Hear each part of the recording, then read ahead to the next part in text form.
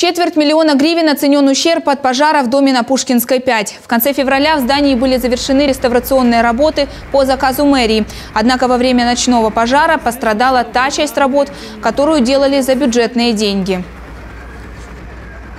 Пошкоджені повністю е, е, знищені е, щитки е, для мереж малої напруги, тобто для кабельних мереж провайдерів інтернет.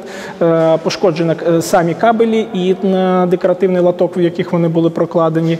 І завдяки сильному задимленню був великий, великий шар сажі на вхідній частині, яку ми також приводили е, і реставрували.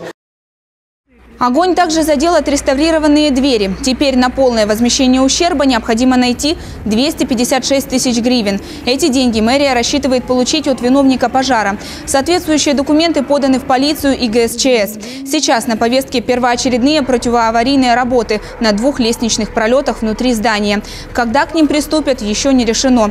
Напомню, ночью 2 марта в доме на Пушкинской 5 возник пожар. Тогда пострадал один спасатель. Его жизни ничего не угрожает.